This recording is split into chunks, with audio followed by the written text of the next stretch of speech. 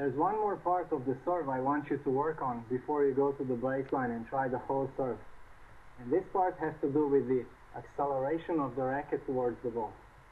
Now we were practicing from this position, where you were getting a good feel for brushing the ball and the follow through. But in this case, your arm was in front of your body, or your elbow was in front of your body.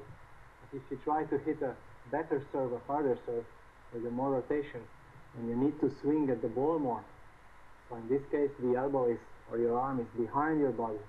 So I want you to work on this part. So you position yourself sideways like this, and now you drop your racket and get into this position which you're already used to. So you start here, you have a very loose arm, and then just turn and end up here.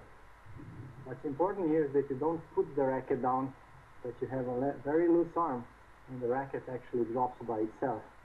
You just turn your shoulders. So from here, just turn your shoulders and come in this position, and then try to do the same with the ball.